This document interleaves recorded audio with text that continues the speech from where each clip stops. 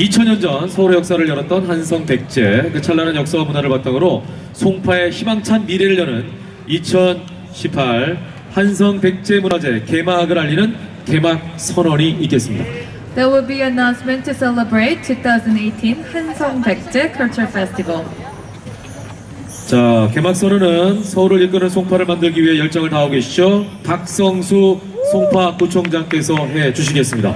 Before we start, the Songsu Park, the head officer of the Songpa district, will deliver the opening speech. 다시 한번 큰 박수로 맞이해 2000년 주시죠. 전 한성 백제 시대의 찬란한 문화를 꽃피운 이곳에서 서울을 이끄는 송파에 새로운 도약을 꿈꾸며 2018 한성 백제 문화재 개막을 선언합니다.